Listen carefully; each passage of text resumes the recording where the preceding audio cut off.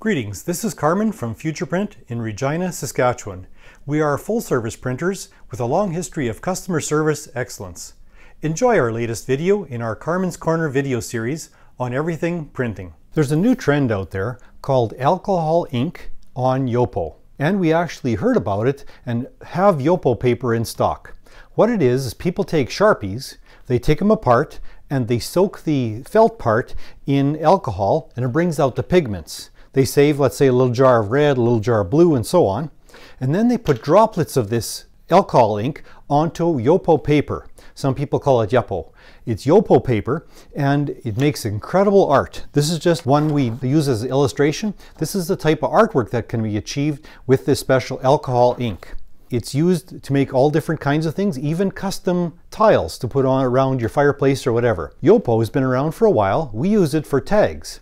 It's a tear-proof and waterproof type paper. It's a sample we have here. It says, we dare you to tear this, and it's all shredded up already, because you absolutely cannot tear that with your hands. It's that tough. It's available in two weights, a tech stock and a cover stock, and we have it in stock. It's available in up to 23 by 35 sheets.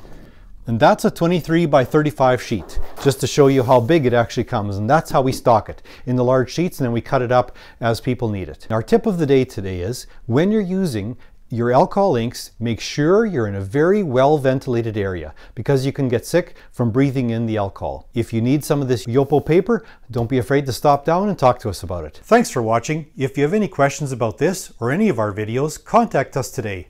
Or if you'd like to discuss your printing needs, we'd love to hear from you. Find our details online at futureprint.ca.